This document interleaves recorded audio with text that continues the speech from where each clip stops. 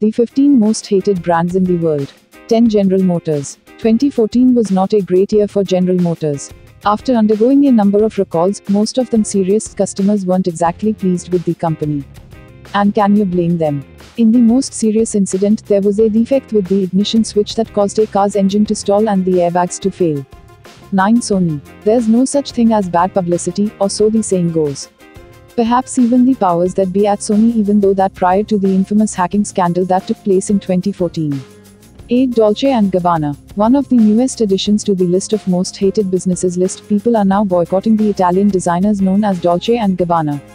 Sure, many of the people protesting probably couldn't afford their ridiculously overpriced items anyway, but that's besides the point.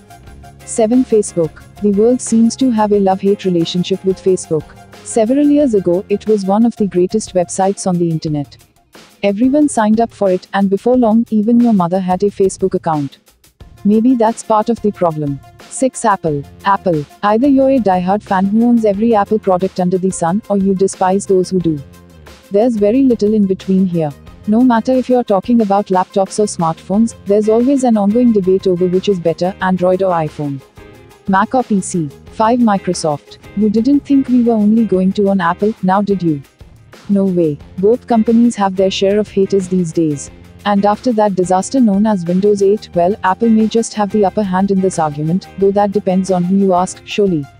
4. Starbucks. The idea of spending $5 for a cup of coffee is outlandish to many, even today. Yet, somehow, Starbucks has continued to thrive and find a way to place itself on nearly every single street corner.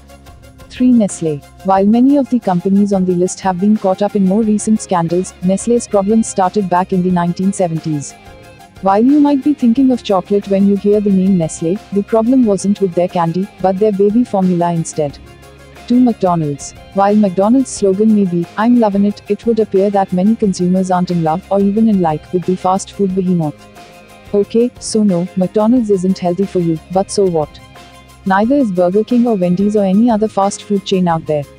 1. Walmart. Another case of a company that people claim to hate but that continues to do well year after year is Walmart.